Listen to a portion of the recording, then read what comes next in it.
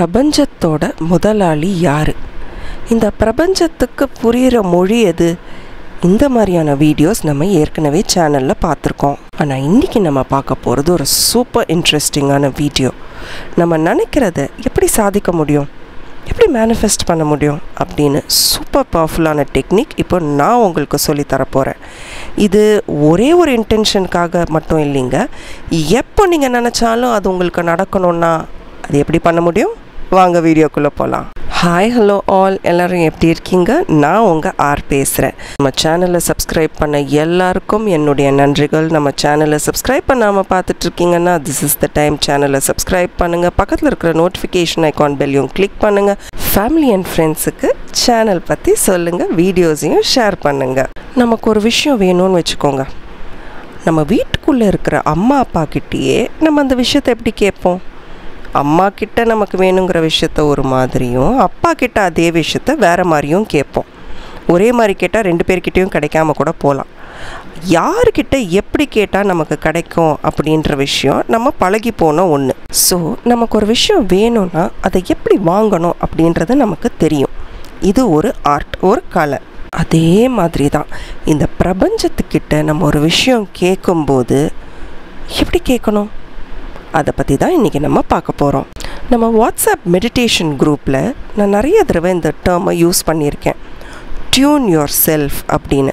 அப்போ நிறைய பேர் எனக்கு மெசேஜ் அனுப்பி கேட்பாங்க அது என்னங்க tune yourself tune yourself so அவங்கக்கிட்ட நான் சொல்லியிருந்தேன் ஒரு வீடியோ போட போகிறேன் இதை பற்றி அப்படின்னு. நம்ம எல்லார் வீட்லேயும் ரேடியோ இருந்திருக்கோம் இல்லையா? அப்போது அந்த ரேடியோவில் நமக்கு வேணுங்கிற எஃப்எம் ஸ்டேஷன் வரணும்னா அதை சுற்றிக்கிட்டே இருப்போம்ல குஸ்ஸுன்னு வந்துக்கிட்டே இருக்கும். அப்புறம் திடீர்னு பாட்டு வரும் திடீர்னு குஸ்ஸுன்னு வரும் அப்புறம் பாட்டு வரும். ஸோ நமக்கு எந்த ஸ்டேஷன் வேணும் அப்படின்னு மாற்றிக்கிட்டே இருப்போம்.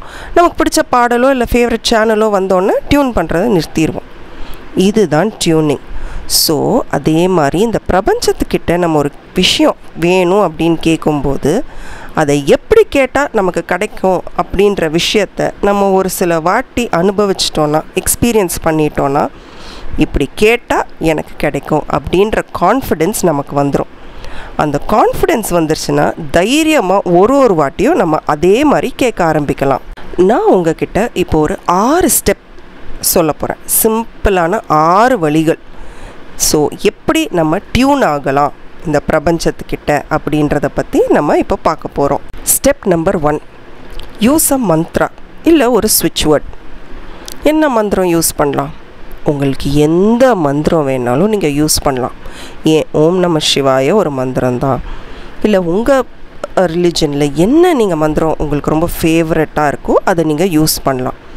எப்போவுமே நமக்கு பிடிச்ச மந்திரத்தை யூஸ் பண்ணும்போது நம்மளுடைய ஃப்ரீக்குவென்சி ஆட்டோமேட்டிக்காக இன்க்ரீஸ் ஆகிடும் இல்லை எனக்கு ஸ்விட்ச் வேர்ட் யூஸ் பண்ணணும் அப்படின்னு உங்களுக்கு தோணுச்சுன்னா Durga magic begins now wolf magic begins now இதெல்லாம் யூஸ் பண்ணலாம். பட் நான் ரொம்ப ரெகுலராக யூஸ் பண்ணுற ரெண்டு இம்பார்ட்டண்ட் ஸ்விட்ச் வேர்ட்ஸ் ஒரு இன்டென்ஷனுக்கு மேனிஃபெஸ்டேஷன் ஸ்டார்ட் பண்ணுறதுக்கு முன்னாடி ஆயில் ரிலீஸ் ஆயில் ரிலீஸ் இது ஒரு ஸ்விட்ச் வேர்ட் இல்லைன்னா கேன்சல் நவ் கேன்சல் நவ் இந்த ஆயில் ரிலீஸ் இல்லைனா கேன்சல் நவ் அப்படின்ற ஸ்விட்ச் வேர்டை நான் நூற்றி எட்டு தடவை சொல்லுவேன். சரி நம்மளை டியூன் பண்ண ஆரம்பிக்கிறதுக்கு முன்னாடி எதுக்கு இந்த மந்திரத்தையோ ஸ்விட்ச் வேர்டையோ சொல்லணும் அப்படின்னு கேட்டிங்கன்னா நமக்குள்ளே இருக்கிற லிமிட்டிங் பிலீஃப்ஸ் பயங்கள் ஃபியர்ஸ் அது மட்டும் இல்லாமல் நமக்குள்ளே க்ரியேட் பண்ணுற பவுண்ட்ரிஸ் இந்த மாதிரி நிறைய தேவையற்ற விஷயங்களை மனசுலேருந்து அகற்றிட்டு இதுதான் என்னோடய இன்டென்ஷன் இதுதான் என்னோடய கோல் இதை தான் நான் மேனிஃபெஸ்ட் பண்ணணும்னு நினைக்கிறேன். ஸோ இதுக்கு தடையாக இருக்கிற எல்லா விஷயத்தையும் நான் ரிலீஸ் பண்ணுறேன் கேன்சல் பண்ணுறேன் அப்படின்ற உறுதிக்கோள் தான் இந்த ஸ்விட்ச் வேர்டோடைய அர்த்தம். ஸோ நம்ம ஆரம்பிக்கும்போது க்ளீனாக ஆரம்பிக்கணும். எந்த கன்ஃபியூஷனும் தடையும் பயமும் இருக்கிற மாதிரி எதையுமே ஆரம்பிக்கக்கூடாது ஸோ முதல்ல இந்த மந்திரமோ ஸ்விட்ச் வேர்டோ சொல்லி தான் எந்த ஒரு இன்டென்ஷன் ரிச்சுவல்லையும் நான் ஸ்டார்ட் பண்ணுவேன். ரெண்டாவது உங்களுக்கு ஒரு இன்டென்ஷன் இருக்கும் இல்லையா? உதாரணத்துக்கு எனக்கு இந்த வேலை கிடைக்கணும். எனக்கு ஒரு கவர்மெண்ட் ஜாப் கிடைக்கணும். இல்லை எனக்கு இந்த ரிலேஷன்ஷிப் மேனிஃபெஸ்ட் ஆகணும். நாங்கள் சந்தோஷமாக திருமணம் செஞ்சுக்கணும். இல்லை எனக்கு இவ்வளோ பணம் வரணும். இந்த பணம் இருந்தால் நான் இதெல்லாம் சாதிச்சிருவேன். இப்படி நம்மளுடைய இன்டென்ஷன்ஸ் இருக்கும்போது எனக்கு என்ன வேணும் அப்படின்றத நானே சுருக்கமாக சொல்லி பார்த்துப்பேன். உதாரணத்துக்கு எனக்கு இவ்வளோ பணம் வேணும். எனக்கு இப்போ ஒரு ஒரு லட்ச ரூபா வேணும். அப்போது அதை நானே கண்ணாடி முன்னாடி நின்று சொல்லி பார்த்துப்பேன். எனக்கு இப்போது ஒரு லட்ச ரூபா வேணும். இந்த ஒரு லட்ச ரூபா வந்தால் நான் இந்த கடனெல்லாம் அடைச்சிருவேன். இந்த பொருளெல்லாம் வாங்குவேன். இல்லை இன்வெஸ்ட் பண்ணுவேன். இல்லை சேமிப்பேன். அப்புறம் ஒரு சின்ன தொகையை நான் வந்து உதவுவேன். மற்றவங்களுக்கு உதவிக்கு கொடுப்பேன். ஸோ இந்த மாதிரி நான் கண்ணாடி முன்னாடி நின்று பிளான் பண்ணுவேன். ஸோ என்னை பார்த்து நானே பேசும்போது அந்த மிரர் டெக்னிக்குன்னு சொல்கிறோம் இல்லையா? அந்த என்னை பார்த்து நானே பேசும்போது நான் கரெக்டாக தான் கேட்குறேனா இல்லை ஏதாவது தப்பாக கேட்குறேனா இப்படின்ற இவாலுவேஷன் எனக்குள்ளே நடக்கும். இது பேர் தான் பகுத்து அறிதல் இல்லையா? இது நமக்கு வேணும். நான் பேசுகிறது கரெக்டாக தப்பா? உதாரணத்துக்கு உங்கள் நண்பரே உங்ககிட்ட வந்து ஒரு விஷயம் சொல்கிறாருன்னு வச்சுக்கோங்க. ஒரு சில நேரத்தில் அவங்க சொல்லும் போதே நம்ம சிரிச்சிருவோம் ஏய் இதெல்லாம் என்ன நீ சொல்கிறதெல்லாம் நடக்கிற காரியமா? அப்படின்னு கேட்டிருக்கோம் இல்லையா?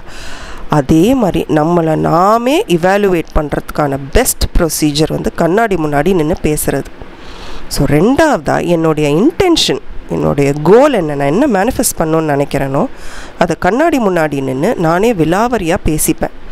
முதல்ல என்னோட கோல் எனக்கு புரியணும். எனக்கு புரிஞ்சாதான் என்னோட சப்கான்ஷியஸ் மைண்டுக்கு புரியும். நான் மேனிஃபெஸ்ட் பண்ணணும்னு நினைக்கிறேன் இல்லையா? என்னோட இன்டென்ஷன் நான் நினைக்கிறது நடக்கணும்னு நினைக்கிறேன் இல்லையா? அது ஒரு வரியில் தான் இருக்கணும். அது எவ்வளோ சுருக்கமாக இருக்கோ அவ்வளோ தடவை என்னால் அதை பற்றி நினைக்க முடியும். ஈஸியாக நினைக்க முடியும். எந்த கன்ஃபியூஷனும் இல்லாமல் மூணாவது எனக்கான ஒரு ரிச்சுவல் இப்போது நிறைய பேர்கிட்ட நான் வந்து கவுன்சிலிங் பண்ணிக்கிட்டு இருக்கேன் வாட்ஸ்அப் வழியாக நிறைய பேர்கிட்ட பேசிக்கிட்டு இருக்கேன் நிறைய பேருக்கு ரிலேஷன்ஷிப் அப்படின்னா ட்ரிபிள் ஃபைவ் மெத்தடை அடித்து யூஸ் பண்ணுவாங்க. அவங்களுக்கு அது அப்படியே வேலை செய்யும். ஒரு சில பேர் எனக்கு மூணாவது நாள் நான் எழுதும்போதே எனக்கு ரிலேஷன்ஷிப்பில் நல்ல டிஃப்ரென்ஸ் தெரியுதுன்னுவாங்க. ஒரு சில பேர் இல்லைங்க எனக்கு ட்ரிபிள் செவன் மெத்தட் தான் வேலை செய்யுதுன்னுவாங்க. ஒரு சில பேர் எனக்கு வாட்டர் மேனிஃபெஸ்டேஷன் தான் வேலை செய்யுதுன்னுவாங்க.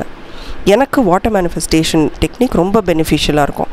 ஒரு சில பேர் எனக்கு விஷன் போர்டு தான் வேலை செய்யணுவாங்க ஸோ ஒரு ஒருத்தருக்கு ஒரு ஒரு விதமான டெக்னிக் ஒரு ஒரு விஷயத்துக்கு யூஸ் ஆகும். இதுலேயும் டியூனிங் வரும். எந்த ப்ராசஸ் எந்த டெக்னிக் எந்த மேனிஃபெஸ்டேஷன் டெக்னிக் எனக்கு ஹெல்ப் பண்ணுது கை கொடுக்குது அப்படின்றத நீங்கள் நிறைய தடவை எக்ஸ்பெரிமெண்ட் பண்ணி கண்டுபிடிக்கணும். ட்ரை பண்ணிக்கிட்டே இருக்கணும். நமக்கு என்ன வேணுன்றது நமக்கு தெரியும். பணம் வேணுமா? சரி மணி ஆயில் ட்ரை பண்ணணும்.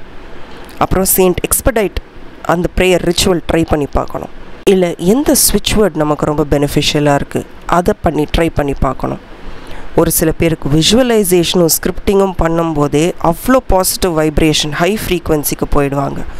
ஒரு சில பேர் மெடிடேஷன் பண்ணால் ரொம்ப நல்ல பாசிட்டிவாக இருக்குது அப்படின்வாங்க ஸோ உங்களுக்கு என்ன டெக்னிக் வேலை செய்யுதுன்னு பார்த்து அது ஒரு ரிச்சுவலாக ஃபாலோ பண்ணணும். ரிச்சுவல்னால் என்னன்னு சொல்ல வரேன்னா அதுக்குன்னு ஒரு டைம் என்ன ஆனாலும் சரி இந்த டைமில் நான் இதை பண்ணி முடிப்பேன். காலையில் எழுந்த உடனே ஆறு மணிக்கு நான் ரெண்டு வரியாவது கிராட்டிடியூட் எழுதுவேன் நீங்கள் நினச்சிட்டிங்கன்னா அதை விடாமல் நீங்கள் பண்ணிக்கிட்டே இருக்கணும். நமக்கு நம்ம நினச்சது நடந்துட்டாலுமே நீங்கள் அதை விடாமல் பண்ணிக்கிட்டு இருக்கணும். நாலாவது மெடிடேஷன் நம்ம உடம்புக்கு தேவையான ஹாப்பி ஹார்மோன்ஸை ரிலீஸ் பண்ணுறது இம்மீடியட்டாக ரிலீஸ் பண்ண வைக்கிறது மெடிடேஷன் மட்டும்தான். அந்த ஹாப்பி கெமிக்கல்ஸ்ன்றது என்ன?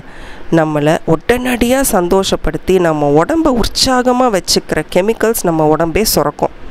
டோப்பமைன் செரோட்டோனின் ஆக்சிட்டோசின் என்டார்ஃபின் இந்த நாலு கெமிக்கலுமே நம்ம உடம்பே சுரக்கும். அப்போ மெடிடேஷன் பண்ணும்போது இவங்கெல்லாம் நம்ம உடம்புல அதிகமாக உற்பத்தியாகி நம்மளை ரொம்ப சந்தோஷமாக வச்சுப்பாங்க. மெடிடேஷன் பண்ணும்போது என்னால் கான்சென்ட்ரேட் பண்ண முடியல அப்படின்னு நிறைய பேர் சொல்லியிருக்காங்க.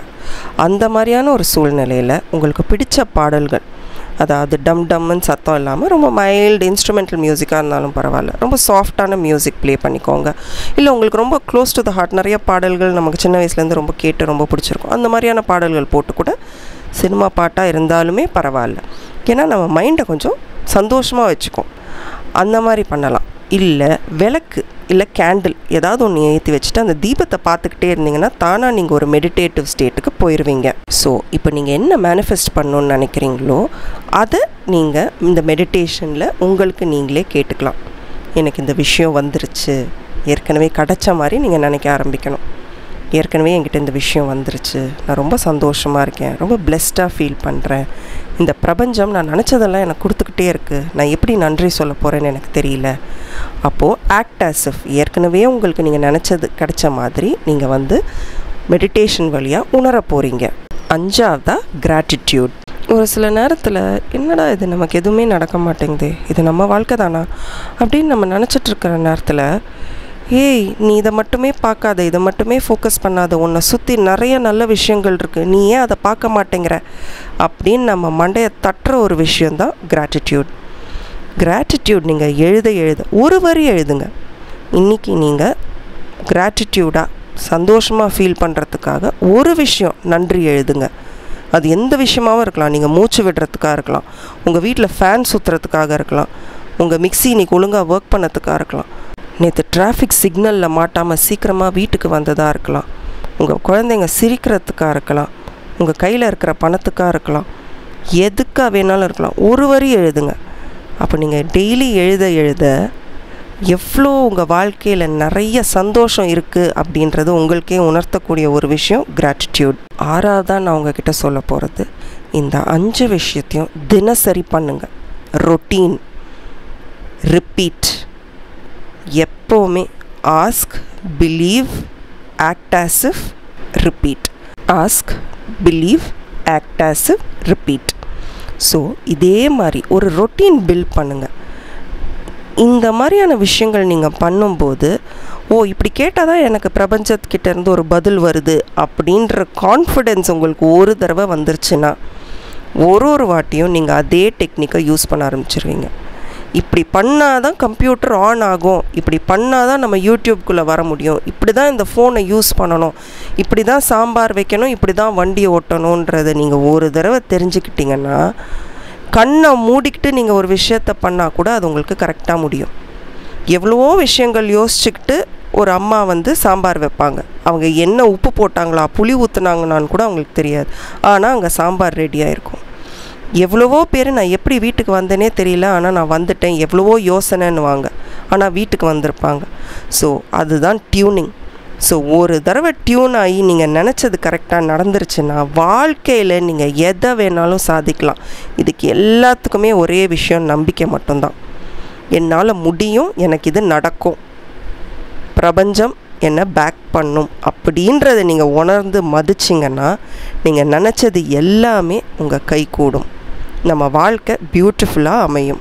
நம்புங்க நம்பிக்கை தான் வாழ்க்கை thank you and bye from R and as always keep smiling